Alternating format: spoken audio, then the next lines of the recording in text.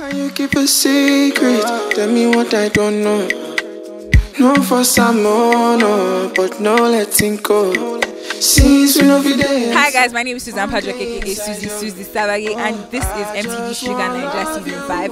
Spill the tea. Baby fire down, you no need silencer. Eh. And in my corner, in my own little corner that they gave me, that they put on top of me, that they finally made for me, I have on my table my one, my the only Tobe SZN. Tobe, okay, let's go.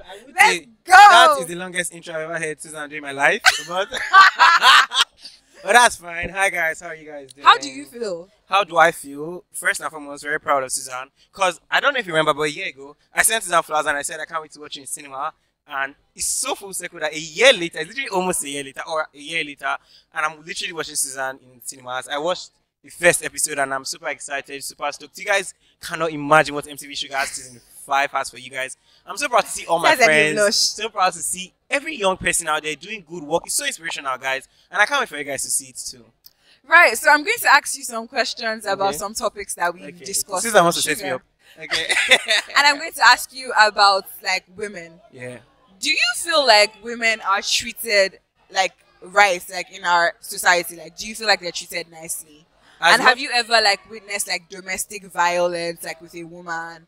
So personally, I have never witnessed domestic violence, but as much as people would always jump and say yes, women are treated equally, but I do think it's a hard conversation to say. In actuality, in reality, women are not treated as equally. As much as that is the goal, and literally, we're the next generation trying to push forward and say, "Oh yes, justice, equal rights, equal pay." But it's still very sad that in this time and age, we're not seeing the same equality. We're not seeing the same treatment. Recently, I was listening to a podcast and someone said, "Oh, women are not paid as much still in certain places." In as much as it's a very sad conversation, it's still real, and mm-hmm. I really like MTV Shuga because I know you guys are dealing on that, right? I watched the first episode and I see people. I heard the girl What say, if you wash with bleach after you've been intimate with this is a someone? reality.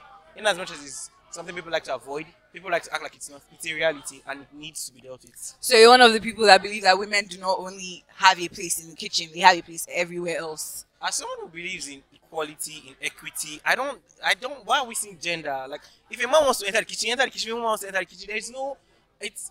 I think that idea is so sad that people would even say something like a woman's place is in the kitchen, like mm-hmm. because we have moms, we have sisters. If you were a woman, would you want to be confined to a kitchen? Mm-hmm. It's very sad to even have this conversation in this time and age. I strongly disagree with that idea, with that opinion, with that ideology. I believe in gender equality stronger. I'm not, I'm not saying this because oh, I'm an influencer. I'm not saying this because this could get me views or anything. Yeah. It is reality. Women go through deep shits.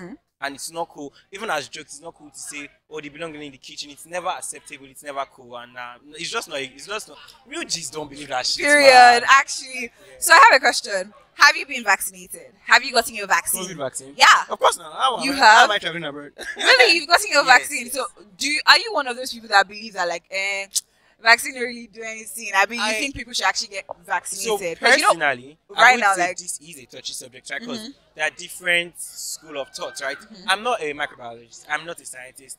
I do believe in systems and rules. There is a vaccine. I do have an auntie who lost Mm-hmm. Yeah. a friend to COVID. I do think it's very insensitive to come out and say, "Oh, the vaccine does not work." I have seen people die from COVID. I think Yeah. it's unfair to to just come and say, "Oh, the vaccine does not work." I am vaccinated. vaccinated so you're personally.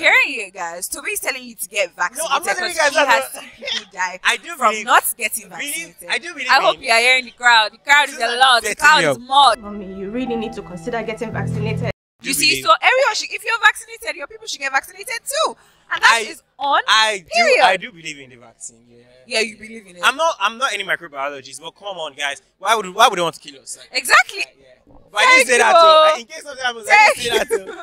But yeah, thank you so much for sitting on my so couch. I Susan. appreciate you. I Yeah. love your outfit. Thank you. I love, love, love You your always do. Thank you. Bye, You no need silencer. Ah, baby, need silencer.